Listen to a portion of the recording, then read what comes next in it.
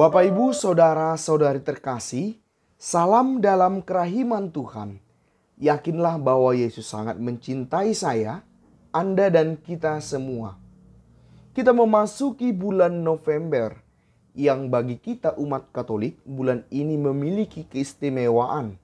Dalam bulan November, gereja mengajak umatnya untuk mendoakan secara lebih intens para arwah yang berada dalam purgatorium yang sering juga disebut sebagai api penyucian. Tradisi mendoakan arwah dalam gereja Katolik adalah berdasarkan ajaran yang diimani oleh gereja Katolik itu sendiri. Dalam video di channel ini, ada beberapa video yang terkait dengan ajaran Katolik perihal hidup sesudah kematian. Nah, dalam kesempatan ini saya mengajak kita untuk melihat bahwa gereja menyatakan kepada kita untuk waspada, untuk menghindari kesesatan-kesesatan yang berbahagi, berbahaya bagi pertumbuhan iman kita, khususnya ajaran beberapa ajaran seputar kematian. Setidaknya ada lima ajaran yang harus dihindari perihal paham seputar kematian. Hal ini disampaikan oleh gereja secara resmi dalam dokumen Direktorium tentang Kesalehan Umat dan Liturgi, Asas-asas dan Pedoman, nomor 258. Saya juga akan mencoba membuat penjelasan atas beberapa pernyataan yang muncul dalam dokumen tersebut. Hal pertama yang harus dihindari ialah pemanggilan arwah untuk menentukan nasib. Gereja kita memang mengakui bahwa kita yang hidup di dunia ini tetaplah memiliki hubungan dengan mereka yang sudah meninggal, yaitu mereka yang berada di surga atau di purgatorium. Hal ini berbeda dengan ajaran beberapa agama, misalnya mayoritas agama Kristen non-Katolik yang menyatakan bahwa hubungan dengan mereka yang meninggal sudah terputus. Sehingga tidak boleh ada yang namanya memohon doa orang kudus maupun mendoakan mereka yang sudah meninggal. Namun sebagaimana yang disampaikan oleh gereja dalam dokumen ini, bahwa kita umat harus menghindari juga yang namanya pemanggilan arwah untuk menentukan nasib.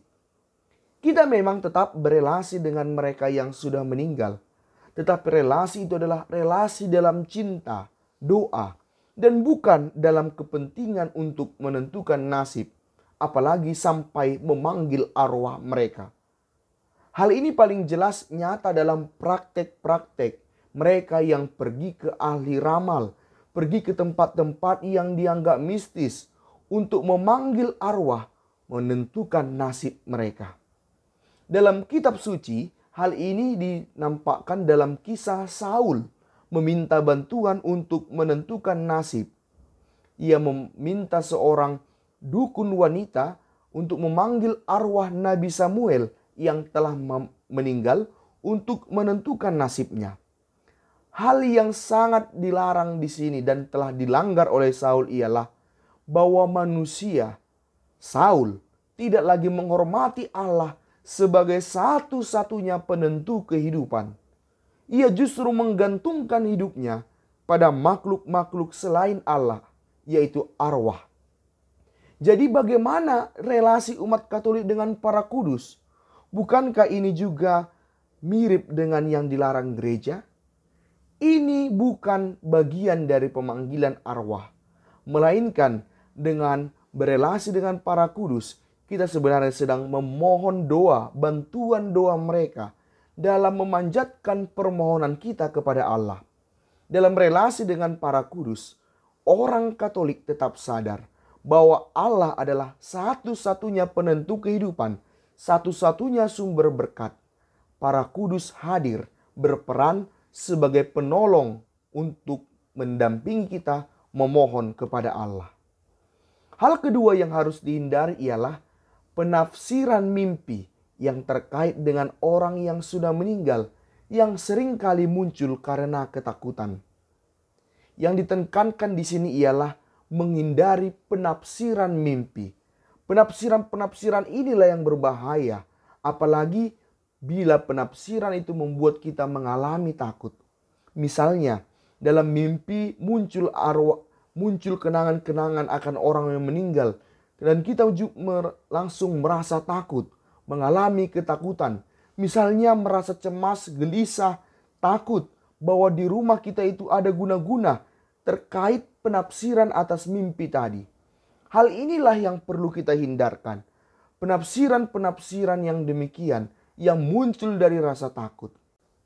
Sebaliknya, apa yang muncul dalam mimpi kita, termasuk mereka yang sudah meninggal, bukannya membuat kita takut, melainkan kita membawanya dalam doa-doa kita.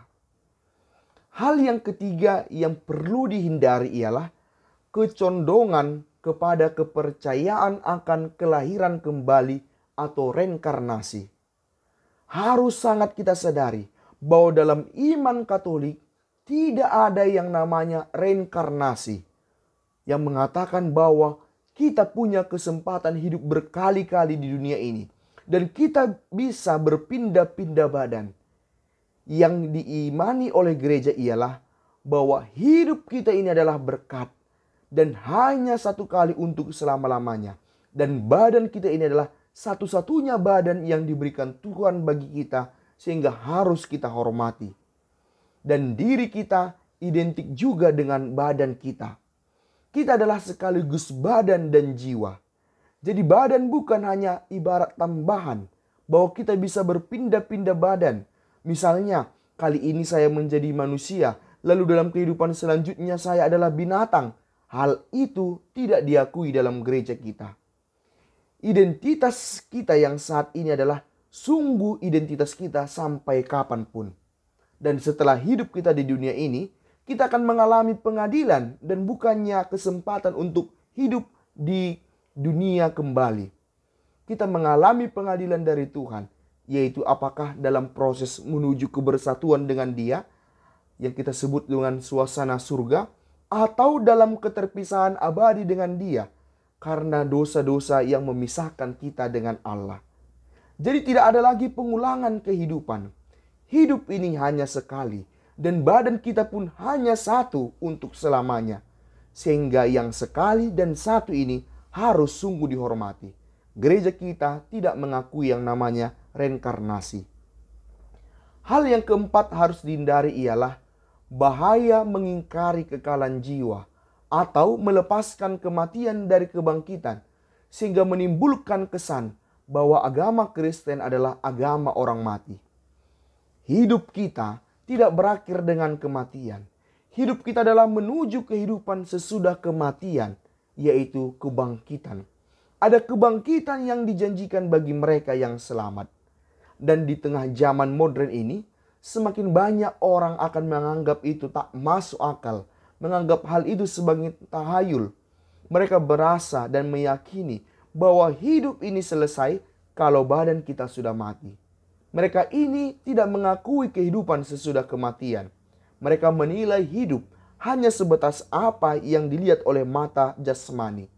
Padahal ada yang namanya kebangkitan, yaitu kehidupan sesudah kematian yang tidak terlihat oleh mata indrawi kita.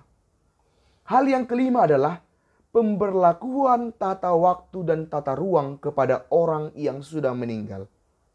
Harus dihindari bahwa kita memperlakukan tata waktu dan tata ruang kepada mereka yang sudah meninggal. Tata ruang dan waktu hanya ada dalam hidup kita di dunia ini. Sesudah kematian, kehidupan kita tidak mengenal yang namanya tata ruang dan waktu. Hal yang bisa kita sampaikan terkait dengan ini ialah misalnya bahwa kita tidak tahu berapa lama orang mengalami purgatorium. Kita mungkin bertanya, berapa lama saya harus mendoakan kakek, nenek, suami atau istri, dan anggota keluarga saya yang sudah meninggal? Apakah satu tahun, dua tahun, atau sampai kapan? Dalam hal ini, kita harus menyadari bahwa dalam kehidupan mereka yang sudah meninggal, tidak lagi dikenal yang namanya konsep waktu dan ruang. Tidak ada istilah bagi mereka 20 tahun, 30 tahun di purgatorium atau hal-hal lain. Hitungan ruang dan waktu hanya terjadi di dunia ini. Kita tidak boleh memasangkan ukuran waktu dan ruang versi dunia ini kepada mereka yang sudah meninggal. Maka kita tidak bisa memaksa istilah waktu dan ruang bagi mereka yang sudah meninggal. Karena itulah kita yang di dunia ini tak cocok bertanya, berapa lama aku harus mendoakan keluargaku di purgatorium? Berapa lama mereka akan berada di purgatorium? Yang bisa kita buat adalah terus mencintai mereka, yaitu dengan mendoakan mereka, mengenang mereka dalam cinta. Mendoakan, mengenang adalah bentuk cinta kita kepada mereka. Maka jangan tanya berapa lama saya harus terus mendoakan mereka. Karena itu sama saja artinya kita sedang bertanya, berapa lama aku harus mencintai mereka? Atau sampai kapan aku harus mencintai mereka? Jawabannya sebenarnya sangat jelas. Kita harus mencintai mereka untuk selama-lamanya. Yang namanya cinta tak mengenal ruang dan waktu. Karena itu pun kita harus terus berdoa bagi mereka yang kita mengerti sebagai bentuk cinta kita bagi mereka yang sudah meninggal. Jangan berhenti mencintai mereka. Demikianlah Bapak Ibu Saudara-saudari terkasih. Lima hal yang perlu dihindari terkait paham keliru seputar kematian. Kita harus menyadari misteri kehidupan sesudah kematian adalah sesuatu yang tak selalu bisa kita selami dengan pikiran kita yang terbatas. Walaupun kita tetap berusaha tapi ada kalanya kita harus menyadari ada batas di mana kita tidak lagi mampu menyelaminya dengan pikiran kita belaka. Karena kehidupan sesudah kematian adalah suatu misteri. Yesus, engkau andalanku, Pace e.